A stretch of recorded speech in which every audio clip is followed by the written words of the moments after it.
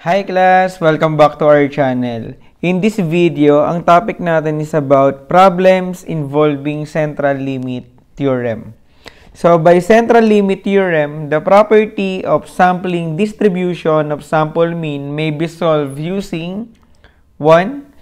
The mean of the sampling distribution of sample mean is equals to our population mean. Second, we have uh, the variance of the sampling distribution of the sample mean is equals to the population variance divided by n, where n is the sample size. Then last, we have the standard deviation of the sampling distribution of the sample mean is equals to the population standard deviation divided by square root of the sample size. Okay, so let's have example number 1. The age of high school students in Muntinlupa City has a mean and variance of 16.02 and 3.03 respectively. If 80 students are chosen from the population, what will be the expected mean and the standard deviation of these samples? So, dito guys, um, identify muna natin yung mga given. First, we have the population mean, which is equals to 16.02. Tama? Then, meron din tayong population variance, which is equals kay 3.03. Okay? Then, if 80 students are chosen, meaning ang ating sample size is equals to 80. Right?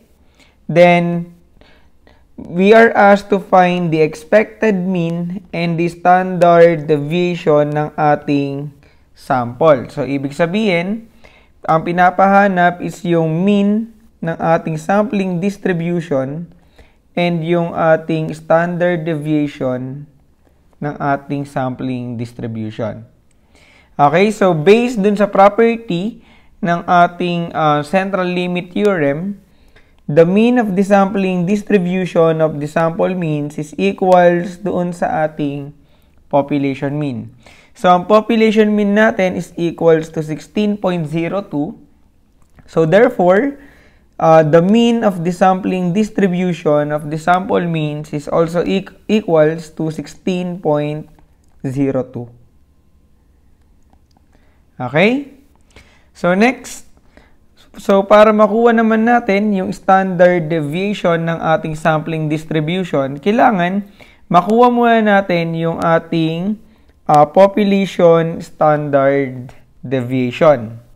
Okay, so by using the formula of square root of variance. So, dito ang variance natin is equals to 3.03.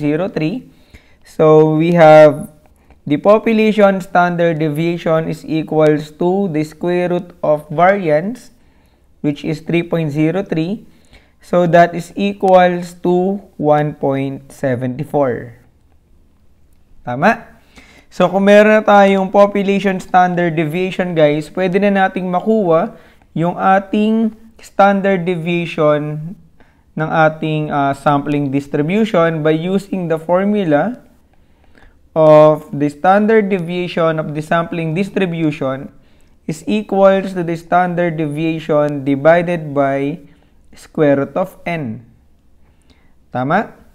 Where the standard deviation is equals to uh, 1.74 and ang ating n is equals to 80.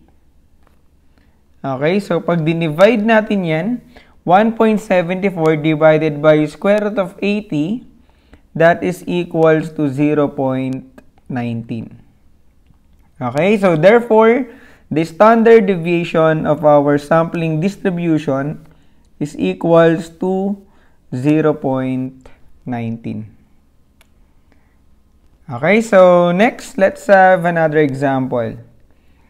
The average height of male in the Philippines with age 20 to 39 is 163.5, while the standard deviation is equals to 37.8.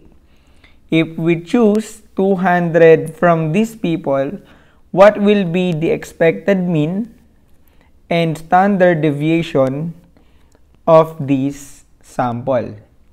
So again, identify muna natin yung mga given. We have the average height or the population mean is equals to 163.5 while the standard deviation o yung ating population standard deviation is equals to 37.8 then if we choose 200 from these people so meaning yung 200 that is our sample size so what will be the expected mean so that is the mean of the sampling distribution, and the standard deviation ng ating uh, sampling distribution ang pinapahanap dito.